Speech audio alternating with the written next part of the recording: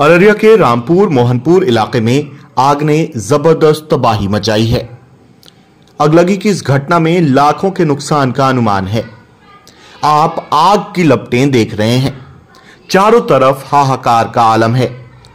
इस हादसे में दर्जन भर घर और दुकानें जल गई हैं। इस दौरान धान के कई ढेर भी जलकर राख हो गए हैं। बैरगाछी ओपी पुलिस ने मौके पर पहुंचकर राहत कार्य चलाया है लेकिन दमकल की कमी के चलते आग बुझाने में काफ़ी वक्त लगा।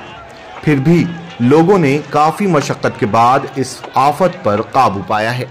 में आग लगा है। देखिए भाई लोग